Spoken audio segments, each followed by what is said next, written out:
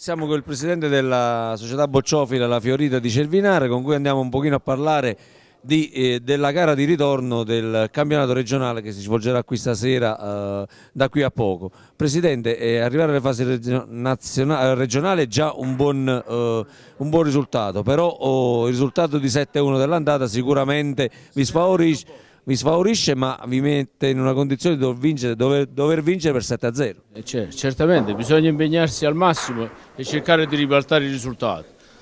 Eh, senza togliere niente agli ospiti che sono, sono, stati bravi sul loro campo, però chiaramente noi cercheremo di fare il possibile per, per rimordare questo risultato.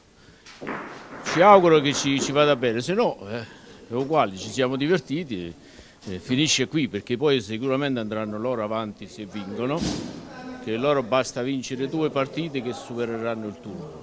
Noi invece dovremmo vincere otto partite per superare il turno. Questo è tutto il discorso. Presidente, eh, al di là della partita di oggi, della gara di oggi che è importante, eh, la società Bocciofila Fiorito di Cervinara ha un blasone da difendere e negli anni è stata sempre eh, qualcosa di bello. Eh, qualcosa di bello però sembra che negli ultimi tempi eh, sia un pochino affievolita, ci può spiegare il perché? Ma niente, stiamo vedendo che soprattutto molte persone si sono iscritte quest'anno, molte persone, perché abbiamo fatto un po' di investimento sui campi sintetici, eccetera, abbiamo rinnovato un pochettino, abbiamo sistemato un po' la struttura, anche perché qua ci vorrebbe una struttura comunale, ma non è possibile, no? cioè, non, non hanno mai provveduto a fare una cosa del genere, però noi ci vogliamo divertire, per cui abbiamo un po' investiti tutto con, con, con le nostre, forze.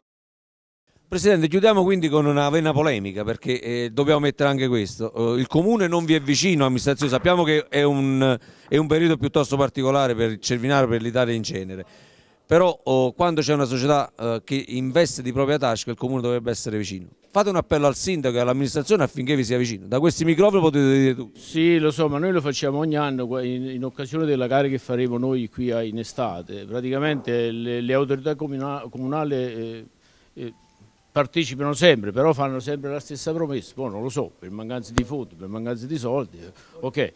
Però comunque è una storia che va avanti da anni, è sempre così, bisogna arrangiarsi. Siamo con il vicepresidente della società Bocciofila Clemente Franco, a cui facciamo una domanda più pratica. All'andata eh, sei uno dei componenti della squadra, quindi all'andata non avete fatto una bella figura, Stasera la promessa che fate ai tanti tifosi, perché anche nelle bocce sono tanti tifosi, che promessa fate? Soprattutto riuscirete a battere Cava e ad andare avanti? E noi eh, questa sera speriamo di vincere tutte le 7-8 partite per andare avanti. Facciamo tutto il possibile immaginare per, per andare avanti, per proseguire, per giocare a bocce e Cervinara eh, vi è sempre vicino, almeno oh, tra di voi siete sempre compatti e all'andata come mai è andata così male? Male perché abbiamo giocato male, quindi se vai a giocare fuori e giochi mai naturalmente perdi, no?